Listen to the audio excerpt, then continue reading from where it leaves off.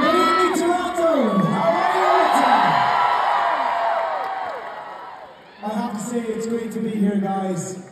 And it's great to finally be able to say, Good evening, Toronto. We've waited a very, very long time as a band. To come to this part of the world and to do a tour. And as Shane said, selling out three nights here. Thank you so much for making us feel very, very welcome here in Canada.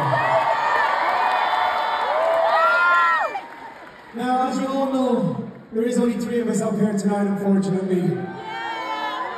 So, I'm sure you've all seen the social media post. Mark is ill back in, back in the UK at the moment. But he sends his love. He wishes he could be here tonight. And we hope that the three of us can continue to fly the Westlife flag for Mark. So everybody, let's hear a big round for Mark. Tonight really gives us a really good excuse to come back here again real soon.